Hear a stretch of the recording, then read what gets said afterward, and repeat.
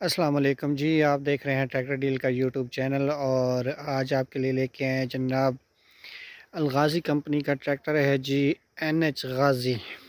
ठीक है जनाब, और इसका मॉडल है 2009 मॉडल है ये।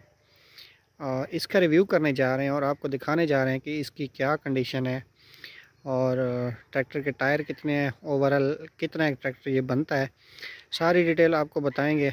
लेकिन उससे पहले आपने करना ये है कि आपने हमारे यूट्यूब चैनल को सब्सक्राइब ज़रूर करना है ताकि हर आने वाली वीडियो आप तक पहुँच सके और मज़ीद वीडियोस आप देख सकें। आइए जनाब, आपको दिखाते हैं। ये ट्रैक्टर की कंडीशन है आपके सामने है जनाब। इसका शो जो है ये अभी तक जैनवन हालत में है।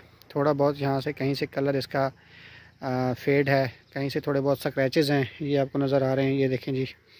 और यहाँ पे स्क्रैच है, ये नज़र आ रहा है आपको। इसके अलावा जो ट्रैक्टर का शो है जिस जनवन जनवन हालत में है। विदाउट टचिंग है, दोबारा पेंट नहीं है कहीं से ये। अपनी हालत में है ये। यहाँ से देखें जी। ये वाला टापा देखें यहाँ से ये, इसका थोड़ा सा जो कलर यहाँ से उतरा हुआ है। बाकी ये देखें, ये जनवन कलर में अभी तक है। और यहाँ पे आ जाएँ।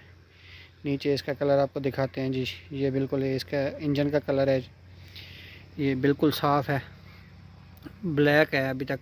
कहीं से कलर इसका जो है वो ख़राब नहीं हुआ हुआ। मॉडल मुताबिक ट्रैक्टर का कलर बहुत अच्छा है। लेकिन जी इसका जो टैमिक का कलर है, ये थोड़ा सा उतरा हुआ है और इसका जो डीज़ल पंप है, इसका भी थोड़ा सा कलर जो है वो उसके ऊपर स्क्रैचेज़ हैं। और इसके आगे वाले टायर आपको दिखाते हैं जी, ये तकरीबन है, इसके कोई 10 से 11 आने इसके टायर बनते हैं आगे वाले। और यहाँ पे आ जाएँ आप, इसका गेयर बॉक्स आपको दिखाते हैं।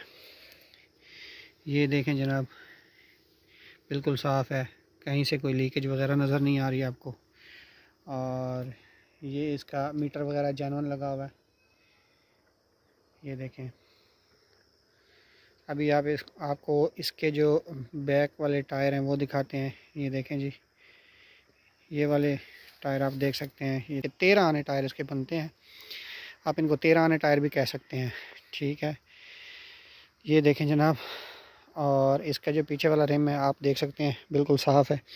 यहाँ पे थोड़ी सी डिज़ाइनिंग हुई हुई है रिम के ऊपर, जो आपको नज़र आ रही है। और ये कंपनी नज़र आ रही है आपको, जिसके इसको टायर लगे हुए हैं जी। मज़ीद आपको यहाँ से दिखाते हैं। ट्रैक्टर को जो सीट है, वो लगी हुई है और इसके जो मडगार्ड हैं, उनका कलर आप देख सकते हैं। ये नीचे से, यहाँ से आप देखें, ये जैनवन कलर है। यहाँ पे थोड़े से स्क्रैचेज़ हैं। ये अक्सर ट्रैक्टर्स के यहाँ पे स्क्रैचेज़ बन जाते हैं। जब सीट वगैरह लगाते हैं या उतारते हैं तो इस तरह का मसला हो जाता है। ओवरऑल मडगार्ड का जो कलर है, वो भी आपके सामने नज़र आ रहा है आपको। ये देखें। टायर इसके बिल्कुल साफ़ हैं, कहीं पे कोई कट वगैरह नहीं है टायर में किसी में भी। ये बैक से आपको दिखाते हैं जनाब। ये देखें, इस साइड से आपको नज़र आ रहा है। बिल्कुल साफ़ है। यहाँ से कोई सील, थोड़ी सी लीक हुई है जिसकी वजह से थोड़ा सा यहाँ पे आपको लीकेज नज़र आ रही है। बाकी साइड पे आ जाते हैं जी। ये लेफ़्ट वाला जो मड गार्ड है, उसकी बैक साइड आपको दिखा रहे हैं। यहाँ पे बिल्कुल ये साफ़ है। कहीं से पेंट नहीं है, टूटी हुई नहीं है। ये लेफ़्ट साइड का पीछे वाला टायर आपको दिखा रहे हैं, जनाब। ये देखें ये बिल्कुल साफ़ है, कहीं से कोई काट नहीं है टायर के अंदर।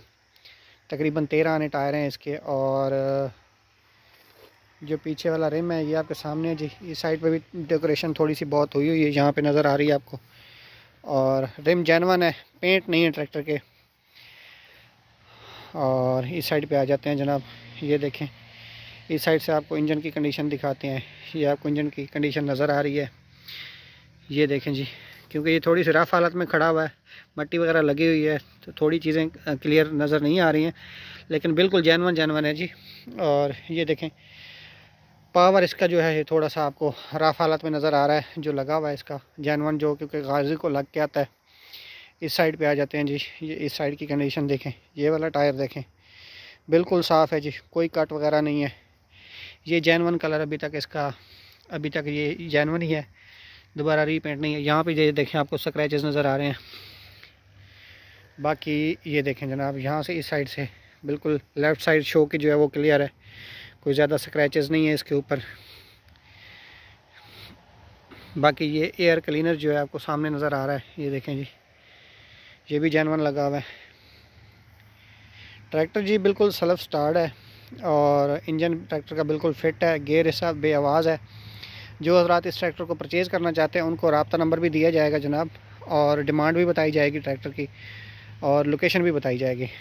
तो ये आज का जनाब हमारा एन एच गाज़ी 2009 मॉडल का रिव्यू है।